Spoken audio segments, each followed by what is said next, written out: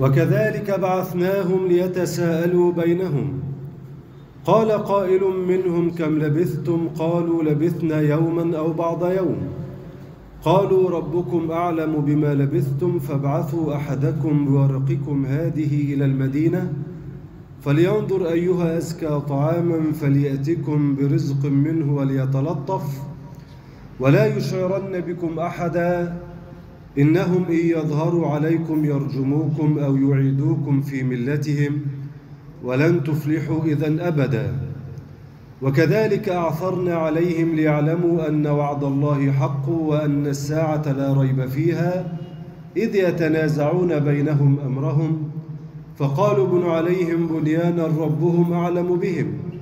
قال الذين غلبوا على أمرهم لنتخذن عليهم مسجدا.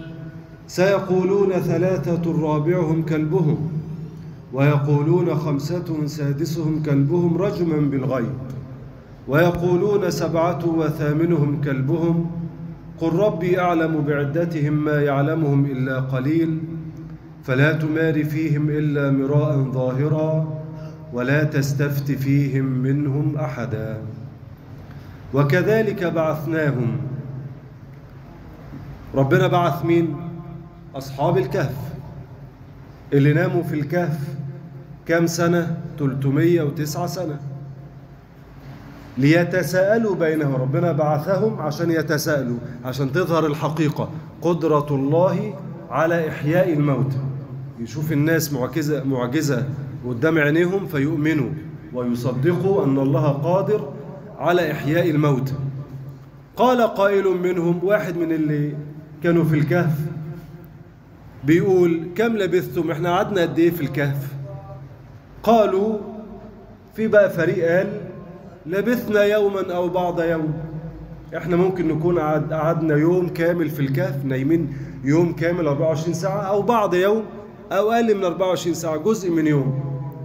الفريق الثاني قال وحس كده إن هم قعدوا فترة طويلة قالوا ربكم أعلم بما لبثتم. إحنا مش عارفين قعدنا قد إيه. والموضوع ده مش هيأتي منه فائدة كبيرة. قعدنا يوم قعدنا أكثر قعدنا أقل. خلونا في المفيد. فبعثوا أحدكم بورقكم هذه إلى المدينة. مين يقول لي يعني إيه ورقكم؟ العملة. بس كده الورق في اللغة يعني إيه؟ العملة دي شكلها إيه؟ فضة. أحسنت. يبقى كلمة الورق بمعنى الفضة. فهم معاهم عملات من الفضة. دراهم بقى من الفضة. المهم الفضة. خدوا الفضة دي عشان نشتري طعام عايزين ناكل. فابعثوا أحدكم بورقكم هذه إلى المدينة. شوف بقى وهم في الظروف دي. والمدينة بتدور عليهم والملك بيدور عليهم عشان يعني يرجعهم إلى دينهم الباطل من عبادة الأوثان أو يقتلهم. وفي ظروف وهم بقى في كهف. ومع ذلك يتحرون الحلال. فلينظر أيها أزكى طعاما. يعني أطيب طعاما. الطعام الحلال الطيب. اوعوا تشتروا شيء خبيث. لازم الأكل ناكله أكل حلال طيب طاهر. مش أي حاجة والسلام. فلياتكم برزق منه. يشوف أطيب طعام في المدينة وياخد إيه ونشتري شيء من هذا الطعام الطيب عشان يكفينا لأكلنا ورزقنا وطعامنا. وليتلطف. يعني إيه وليتلطف؟ مش معناه يكون لطيف لا معناه يكون وإن كان ده يعني المعنى يحتمل أن يتلطف بمعنى اللطف لكن معنى اللطف عموما في اللغة بمعنى الخفاء. يعني وايه وليستخفي. إحنا برضو لسه مطاردون فيبقاش إيه؟ مش مبين نفسه علشان ما حدش يسأل عنا ويؤذينا. وليتلطف. ولا يشعرن بكم احدا حدش يحس بكم علشان لا نؤذى. إنهم إن يظهروا عليكم شوف بقى النتيجة لو حد اطلع عليهم يرجموكم. الخطر المتوقع الرجم حتى الموت. أو يعيدوكم في ملتهم. أو يجبروكم أن تعودوا إلى دين عبادة الأوثان وهذا باطل وساعتها ولن تفلحوا اذا ابدا. طبعا أنا متخيل بقى الراجل راح وعمال يلف في المدينة وشايف الدنيا متغيرة والطرق متغيرة بعد 300 سنة. تخيل الآن بعد 300 سنة الشكل هيبقى عامل إزاي؟ هو نفس الحكاية وال, وال... شيء غريب وعجيب وهو مندهش قمة الاندهاش كأنه أصابه جنون أو سحر وعمال يقول إيه اللي بيحصل ده؟ وطبعا إدى العملة للبائع والبائع شاف العملة وتعجب. العملة دي لسه باقية.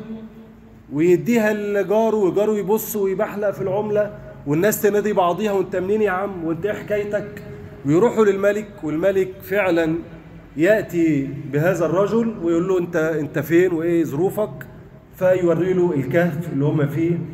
أهل الكهف والناس تعرف قصة أصحاب الكهف وبتبقى معجزة قدام عينيهم أن الله يحيي الموتى وأن الله قادر على الإماتة أو ال أن ينيم الناس كل هذه الفترة ويوقظهم من جديد. وكذلك أعثرنا عليهم. جعلنا الناس تعثر عليهم.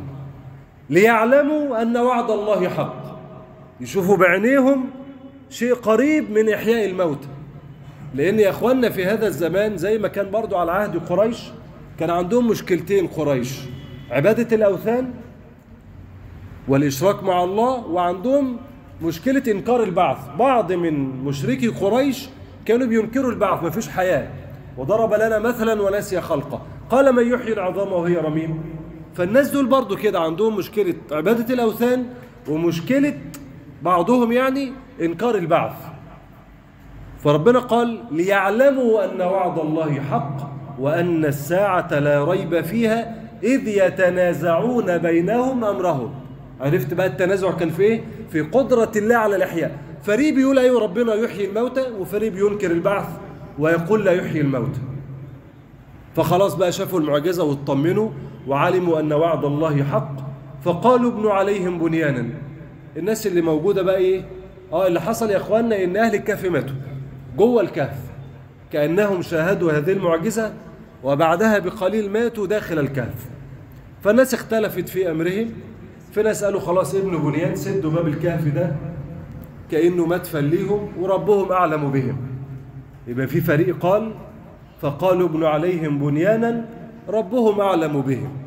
الفريق الثاني والفريق ده يا اخوانا كان من أصحاب النفوذ والسلطة والغلبة يعني زي الملوك ونحو ذلك. قال الذين غلبوا على أمرهم لنتخذن عليهم مسجدا. لا ده إحنا هنبني مسجد على الكهف اللي هو يعتبر قبر ليهم. هنا طبعا بعض أهل البدعة يقولون اذا يجوز بناء المساجد على القبور. وقلنا الرد على ذلك سهل جدا لأن ده شرع من قبلنا كما قال ابن تيمية.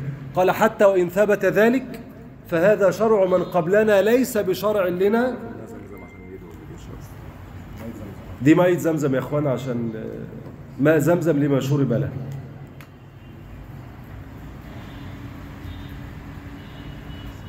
فوجد في شرعنا ما يخالف هذا الأمر. قال عليه الصلاة والسلام إنه كان إذا مات فيهم الرجل الصالح بنوا على قبره مسجدا ألا إنهم شرار الخلق عند الله؟ ألا إني أنهاكم عن ذلك. في شرعنا كلام صريح ما ينفعش تبني مسجد أو مكان العباده على القبر.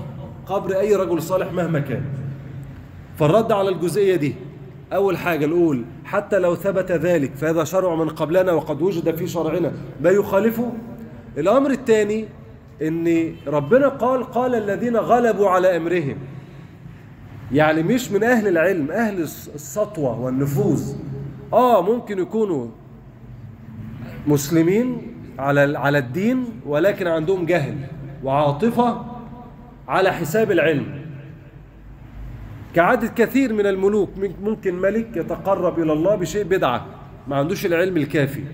فما فيش دليل إن اللي غلبوا على امرهم أهل علم بل لفظة غلبوا على أمرهم تدل أنهم من أهل النفوذ الذين يتصرفون بالعاطفة دون أن يتأكدوا من موافقة هذا لشريعة الله أم لا.